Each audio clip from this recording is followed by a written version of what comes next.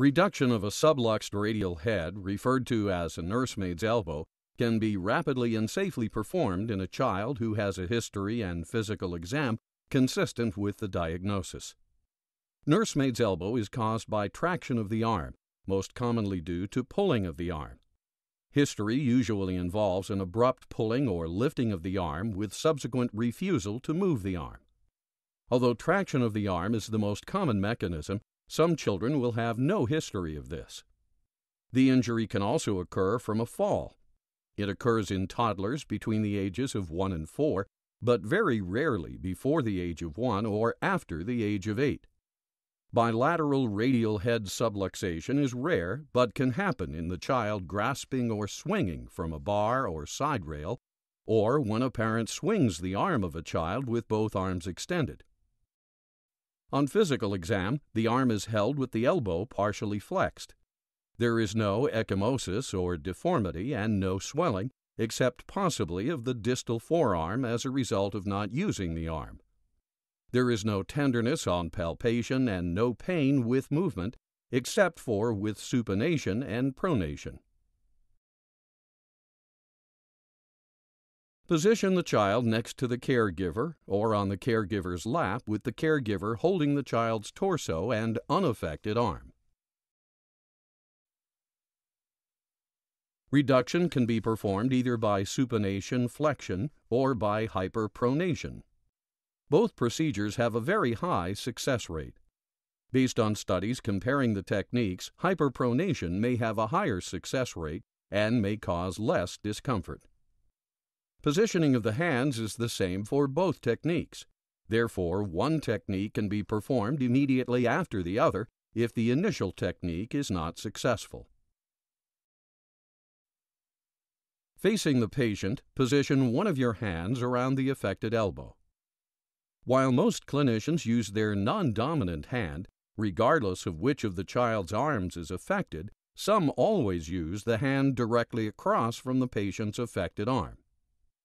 If you use the hand opposite the patient's arm as you face them, position your index or middle finger on the radial head.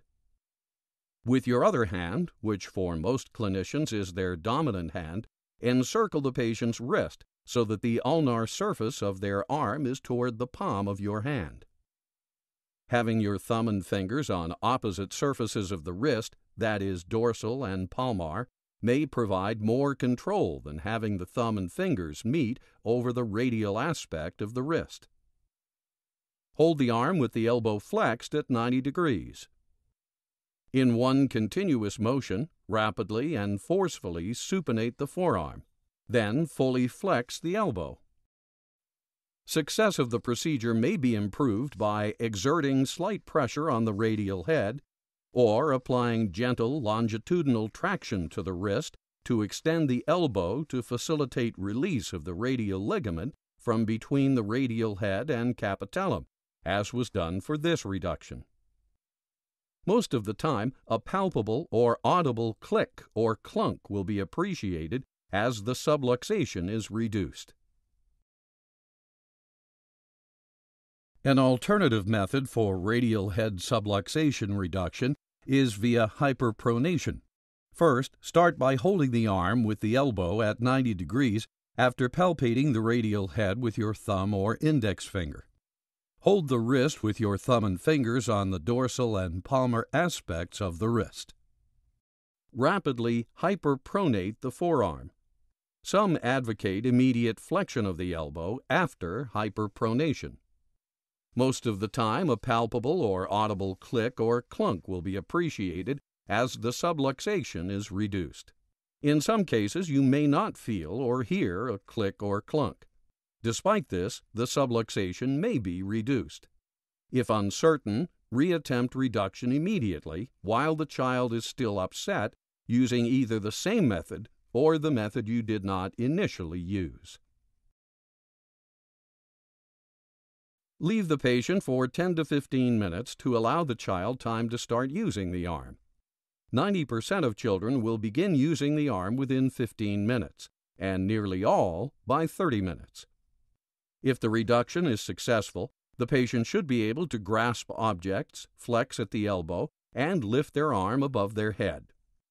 Offer the child a toy or snack while the parent restrains the uninjured arm to test function of the arm in the child who is not spontaneously using the arm. Immobilization is not required after successful reduction, except in rare cases of recurrent subluxation within a short period of time. Analgesia is usually not required after the procedure, but may be given if the caregiver is concerned about discomfort. No follow up radiography is needed once there is return of movement to the elbow. Inform caregivers that subluxation may recur and advise them that the child should be picked up by holding them under the axilla.